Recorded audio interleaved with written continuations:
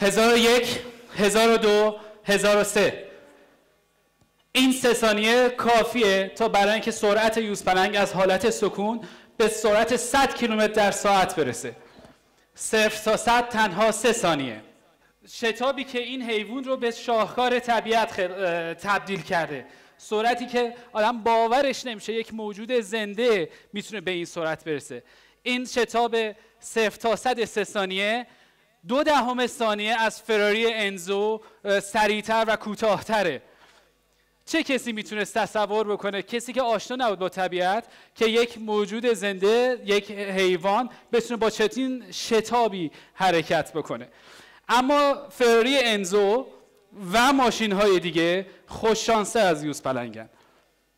چون که فقط در حال حاضر فقط در هر یک ثانیه بیش از سه تا خودرو در سراسر دنیا داره تولید میشه. به طور متوسط. البته امیدواریم تصاویر شبیه اینو بیشتر ببینیم چون این متعلق به خودروهای الکتریکیه. اما برای اینکه ببین سه ثانیه چقدر زمان زیادیه. 1001 1002 1003 یک هکتار عرصه به بیابان تبدیل شد. 1001 1002 1003 یک هکتار دیگه به بیابان تبدیل شد. 1001 1002 1003 یک هکتار دیگه در یک جای دیگه زمین به کویر تبدیل شد. سرعت کویرزایی در دنیا تقریبا هر هکتار در هر سه ثانیه است. و به موازات این صنعت که با سرعت عجیبی داره گسترش پیدا می‌کنه. و ما با یک نادانی داریم به سمت توسعه ناپایدار قدم برمیداریم. و اصلا حواسمون نیست که این توسعه ناپایدار که محیط رو از بین می‌بره گونه های مختلف گیاهی و جانوری رو از بین می‌بره در درجه اول خود ما رو از بین خواهد برد. به خاطر اینکه همه ما به هم مرتبطیم. همه ما در یک کشتی نشسته ایم توی دنیا با افزایش روند پیشرفت صنعتی و به موازاتش با افزایش تخریب محیط زیست یک خواست اجتماعی برای حفاظت از محیط زیست به وجود اومد. و اون خواست اجتماعی در قالب انجیو ها یا سازمان های مردم نهاد یا سمن ها شکل گرفت. ما هم در ایران داستان های غمانگیز خودمون رو داشتیم. در ایران شیر آسیایی سالهاست که منقرض شده. ببر مازندران برای همیشه از بین رفته و ما توی کشورمون و هیچ جای دنیا دیگه ببر مازندران نداریم. و الان متاسفانه نوبت به سومین گربستان زیبای ما رسیده که در مرز خطر انقراض قرار گرفته. یوز پلنگ آسیایی که یک زمانی در بخش وسیعی از قاره آسیا زندگی می‌کرد اما الان در تمام کشورهای دیگه منقرض شده و یک جمعیت بسیار بسیار ناچیزی فقط در کشور ما باقی مونده. پژوهش های سه سال گذشتهمون نشون داد که جمعیت یوز آسیایی کمتر از هفتاد عدده. قبلا فکر می‌کردیم حداقل هفتاد عدد داریم ولی متوجه که به هیچ وجه این شکلی نیست. حد اکثر هفتاد یوز پلنگ در کشور باقی مونده. برای همین ما هم تلاش کردیم تا با تشکیل یک NGO مختص به یوز پلنگ فعالیتامون شروع کنیم. اول سه نفر بودیم و الان خیلی هستیم. بعد از 13 سال فعالیت.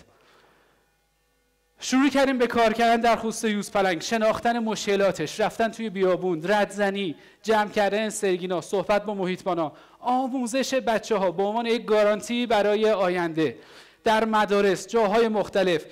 بچه ها رو میبردیم منطقه برای اینکه زیستگاه یوز رو بشناسن برای اینکه طبیعت رو لمس کنن برای اینکه وقتی که راجع به طبیعت باشون صحبت می‌کنیم فکر نکن راجع به یک پدیده دور از دسترس داریم باشون حرف می‌زنیم. با چوپونا و دامدارا صحبت کردیم. کسی که خودشون یوز پلنگا رو ممکن بود بکشن و البته آمار تلفات یوز توسط چوپونا بسیار زیاد بود اون موقع. همایش های مختلف در نقاط مختلف کشور برگزار کردیم.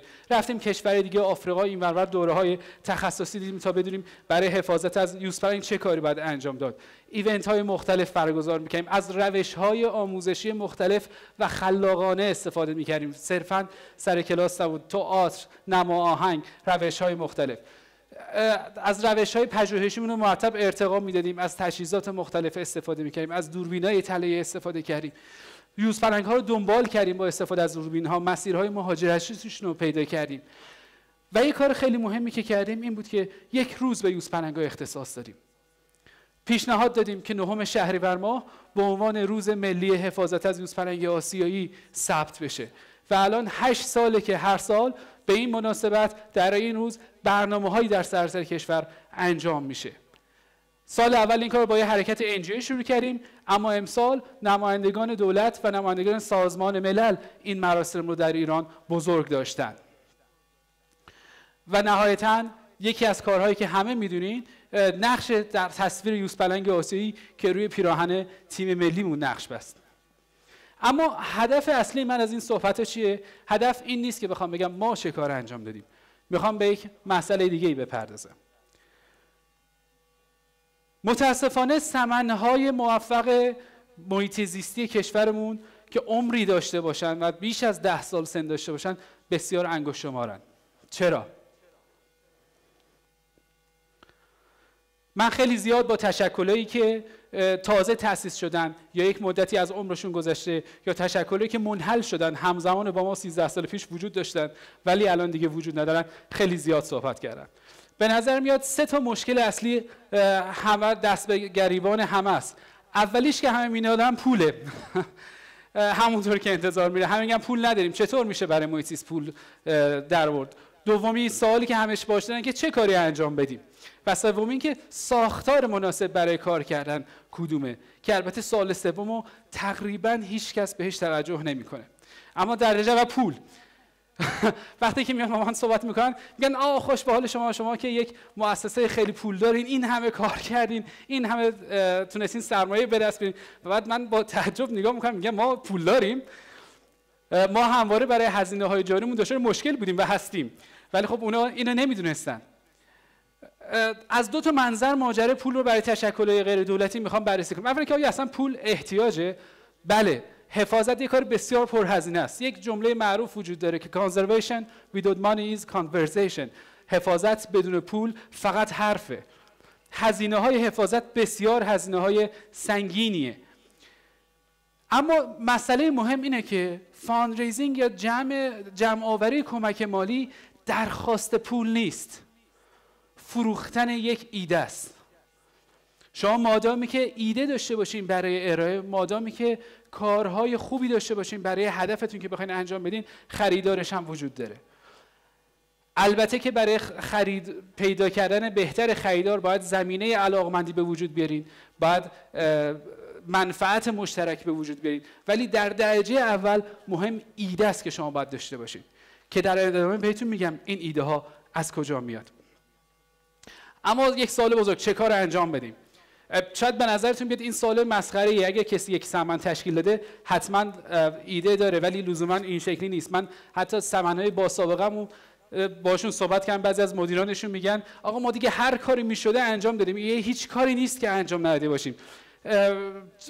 ولی مشکل هنوز برقراره. و سوال من اینه مشکل هنوز برقراره پس حتما خیلی کار هست که میشه انجام داد. و فکر می‌کنم چند تا نکته توی این مسئله پنهان شده. در درجه اول اینکه خودتون با انبوهی از مشکلات مواجه می‌کنید. بیاین و یکیشو بذارین وسط و اون یه دونه رو حل بکنید. اما چه شکلی این کار رو انجام بدین؟ با یک روش سیستماتیک خیلی ساده. اینکه اول وضعیت موجود رو بررسی بکنین که مشکلات رو خواهید شناخت یا ممکنه فعالیت های بیشتری لازم داشته باشین تا مشکل رو بشناسین و بعد باز دوباره فعالیت های بیشتری باید انجام بدین تا راه حل رو شناسایی کنین و بعد تازه فعالیت اصلیتون شروع میشه تا مشکلات رو حل بکنین. و همه این فعالیت ها ایده های شما برای فروختنه. من نمی‌تونم تصور بکنم که کسی سیستماتیک برای شناخت وضعیت موجود و حل اون کار کرده باشه و ایده برای فروختن نداشته باشه. و یک مسئله مهم این که با مور زمان وضعیت موجود و مشکلات هم تغییر می‌کنه. ما 13 سال پیش که شروع به کار کردن کردیم مهمترین مشکل ما اصلا شناساندن یوز بود. اینکه یوز پلنگ چه شکلی فرق یوز پلنگ و پلنگ چیه؟ چه توی روستاها چه توی شهر. توی شهر که اصلا اینکه فقط ما آقا یوز پلنگ داریم. ولی الان وضعیت تغییر کرده. توی روستاها صحبت معیشت ها صحبت منفعت از طبیعت و بحثای مشارکتیه. که باز وقتی که شما هی روز خودتون رو در فعالیت هاتون رو به روز می‌کنین باز دوباره این یعنی ایده های جدید و باز دوباره این چرخش کار جدید. اما راجع به این ایده ها و راجع به این فعالیت ها سوالای خیلی زیادی میشه مطرح کرد. یکی از مهمترینش اینه که فعالیت شما ایده محور باشه یا برنامه محور. فعالیت ایدی محور به صورت جدا جدا یا در یک قالب برنامه منسجم. هر کس باید خودش به این سوال جواب بده. اما مسئله سوم که بسیار مسئله مهمیه ولی متاسفانه تشکلهای کمی بهش می‌پردازن ساختاره. NGO هایی که من دیدم دو حالت داشته. یا اونقدر درگ... از همون ابتدا اونقدر درگیر ساختار شدن که اصلا ثبت نکردن مؤسسشون یا با یک چیز توافقی دم ثبت کردن و بعد از یک مدت اصلا پاشیدن. هیچ ساختار بهترینی برای یک NGO وجود نداره. هر افرادی که دور هم جمع میشن هر دو نفر یا هر جمعی که دور هم برای انجام یک کاری جمع میشن با تجربه خلقیاتشون و با ت... می‌تونن ساختاری رو داشته باشن که اون ساختار کاملا موفق باشه. اما مسئله ای که این وسط به نظر میاد پررنگتره گفتگو کردن راجع به این ساختار و توافق داشتن راجع به این ساختاره. خیلی وقتا انجیو ها شروع می‌کنن کار کردن و بعد از چند سال به تناقض با هم دیگه می‌رسن. به خاطر اینکه تصور هر کدوم از ساختار موفق برای یک NGO یک چیزی بوده و متاسفانه در خیلی از موارد این عدم توافق و عدم تفاهم در مورد ساختار منجر به تعطیلی اون NGO شده.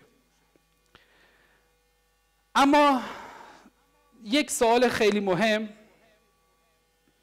من تقریبا تمام افرادی که دوروورم دیدم که NGO تأسیس کردن بدون اقراق بین آدم های دورورشون بالاتر از حد متوسط از توانایی ها, وجود، توانایی ها بودن.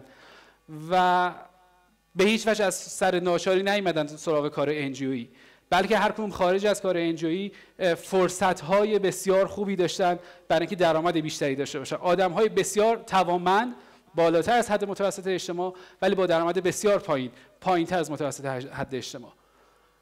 برای یک آرزو برای یک هدف بزرگ. به خاطر این هدف و به خاطر این آرزو بوده که همه ما دست به دیوانگی هایی زدیم. از رشته هامون انصراف دادیم. من دانشجو مهندسی شیمی بودم صنایع نفت. در توی کشور نفتی هم دارم زندگی می‌کنم. ولی انصراف دارم رفتم محیط زیست. به خاطر همین آرزو.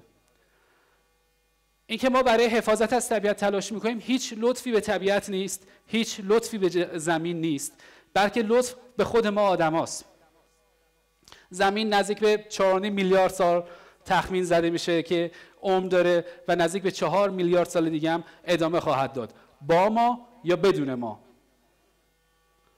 اما اگر که می‌خوایم زندگی بهتری داشته باشیم باید اجزای این سیستم پیچیده که ما بهش وابسته هستیم و بهتر بشناسیم و کمک بکنیم که این اجزا باقی بمونن. تا خود ما در درجه اول باقی بمونیم. اما شما چی کار می‌تونید بکنید؟ صحبت قبلین برای کسایی بود که توی تشکل فعالیت می‌کنن. کاری که شما می‌تونید انجام بدین و باید انجام بدین اینه که نسبت به مسائل حساس باشید نسبت به مسائل محیط زیستی.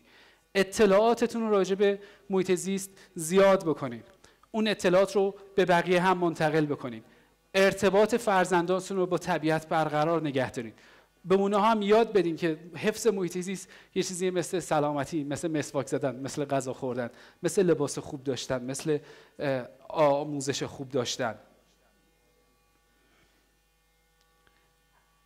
هر کدوم از شماها با ایفای نقش مناسب خودتون در این بعد زندگی تبدیل میشین به یک جمع بزرگی که دیگه سرعت تخریب زیستگاهاش یک هکتار در هر سه ثانیه نباشه. و دوست دارم یک بار دیگه این عکس رو به شما تقدیم بکنم. عکسی که برنده جایزه BBC Wildlife بود تو سال 2014 یک بیش از یک دهه تلاش امید آرزو و تغییر تغییر تغییر و یاد گرفتن و یاد گرفتن و یاد گرفتن ما رو به جای رسوند که این عکس یک بخشی از اون دستاورد هاست و اون تلاش هاست. و البته موفقیت واقعی زمانی حاصل خواهد شد که یوز پلنگ آسیایی از انقراض نجات پیدا کرده باشه. ممنون.